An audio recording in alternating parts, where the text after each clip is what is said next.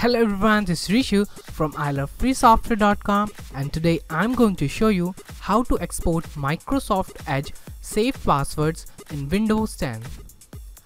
To do so, we will use a free software called Vault Password View.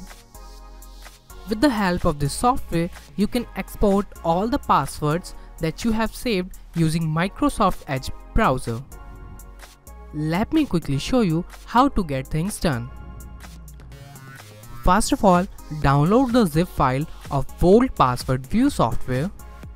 Don't worry, you will find the download link in the description below. Once the download is complete, unzip it using 7-zip. And finally, run it. Vault decryption option window will open. In the first drop-down box, keep the default option decrypt vault files of any system requires to type the login password selected.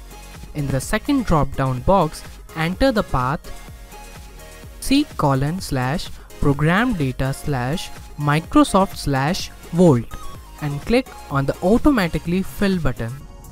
You will see that most of the other required option will be automatically filled up. Now you only need to enter the Windows login password and click on OK. As soon as you do that, the main interface of this software will open and there you will see the list of websites and their respective passwords in the item value tab.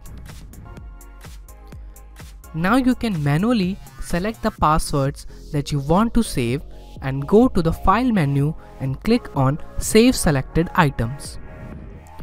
You can export saved passwords of websites along with other details in XML, HTML, TXT or CSV file. That's it. This is how you can export Microsoft Edge saved passwords in Windows 10. If you like this video, do remember to hit the like button below and subscribe to our channel for more such interesting tips and tricks. Bye for now.